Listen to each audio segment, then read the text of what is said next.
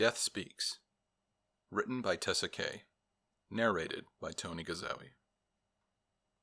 There wasn't a care in the world in the minds of the people of Hagewood. The festival was underway, a beautiful whirlwind of dancing, eating, and games. The lights in the town square had been dimmed to allow for the showing off of dragons flying overhead, blowing great streaks of fire through the sky, as though they wanted to celebrate too. Laughter carried almost louder than the music, and no one expected to have to call the coroner. In fact, when members of the crowd first noticed Arius, strewn across the cobbled street, they thought he'd simply passed out drunk. They had let him stay where he was for hours into the night, some even stepping across him to reach their desired location. It wasn't until people were beginning to go home that a vendor, wanting him gone, threw water in his face to jostle him, only to realize that Arius was not sleeping, but really actually quite dead.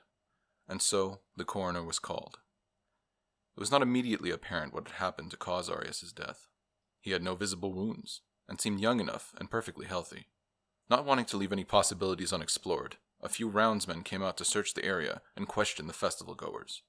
At the coroner's office, Arius lay on a cold metal table. He had been stripped naked and now lay under a sheet, waiting to be poked and prodded, so the cause of his ultimate demise might be discovered. The coroner approached. I was on my way home. The coroner jumped away from the table, his heart feeling like it didn't beat at all, the rushing of blood overtaking his ears. The corpse had not talked. He had seen a lot of things in his time, all manners of curses placed on the dead bodies of unsuspecting victims, but the corpse had not talked. It was very late. That was all. Swallowing hard, the coroner stepped up to the table again. Arius lay completely still, his eyes closed serenely, not a hint of life in his features. He had not talked. And yet, he did again. I wasn't even supposed to be out tonight. The coroner tried to turn toward the door, but found he couldn't. He was frozen in place, but not out of fear, although he had plenty. He would have run out of the room as quickly as his feet would carry him, but it was like there were chains all around him, anchoring him to the floor. What do you want? The coroner's voice quaked. Arius didn't answer the question, only continued his previous thought. I got a promotion at work today. Going to the festival, that was my way of celebrating. Please, the coroner stuttered. I just want to leave peacefully. If Arius heard the plea, he gave no sign of it.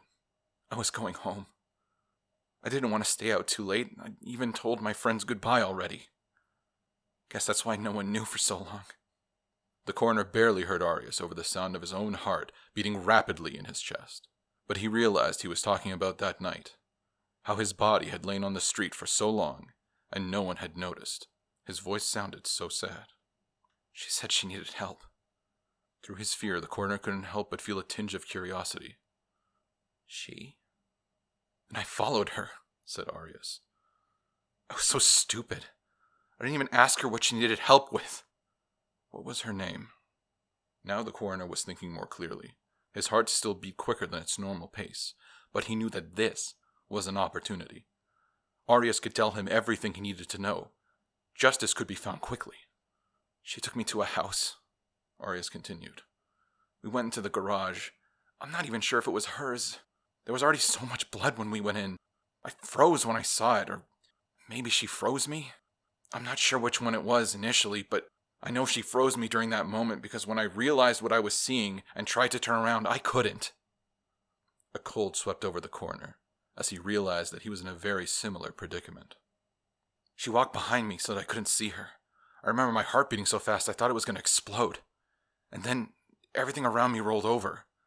I thought I'd fallen until I realized I could see the rest of my body still standing there.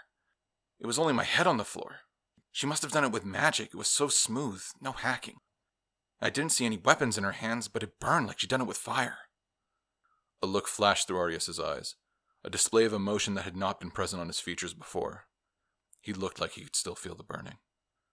I still don't understand how it is that I could see her after, see my own body from where my head was on the floor. Whatever she'd done to cause this, his voice broke. Whatever this is, I've never heard of anyone doing it. The coroner hadn't either. Whatever enchantment had been placed upon Arius to keep him seeing and talking and knowing was not one the coroner had ever seen and being in the profession he was, he'd have thought if such a thing existed, he'd know. She put my head up on a shelf, Arius continued, so I could watch everything she did to me. Even though I could see, I couldn't control anything. I couldn't turn my head or any parts of my unattached body. I couldn't even close my eyes. She put the rest of me on a table, kind of like this one. The coroner eyed the metal slab of a table on which Arias's body laid. Unsure of what sensations Arias still had, he felt somewhat bad now for how cold the table must have been. She cut me open first. Just took a big old hook looking thing and dug it through my stomach. She gutted me.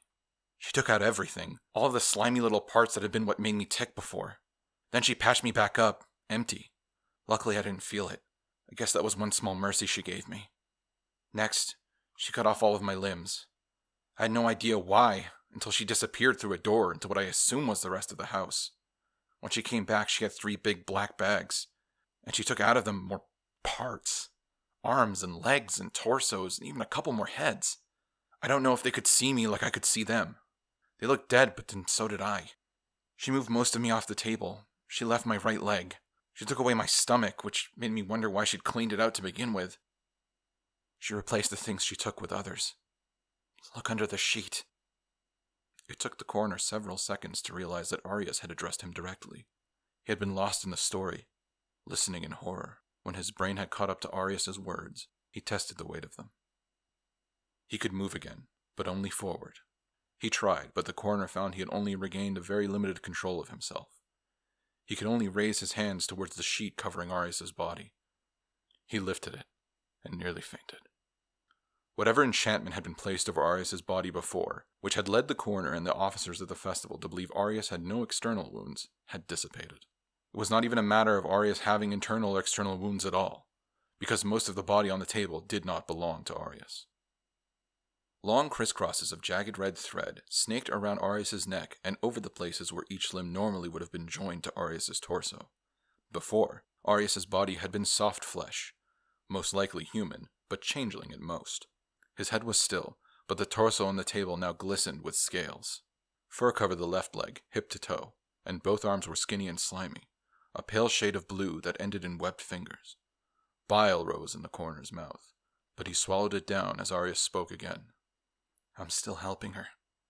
I don't want to, but I am. I think she wants your help too. All around the corner, the world rolled. He really had fainted, he thought but in his neck he felt the worst kind of burning sensation, and for some reason he could still see himself, standing, locked into place beside the table. Only now there was someone standing with him.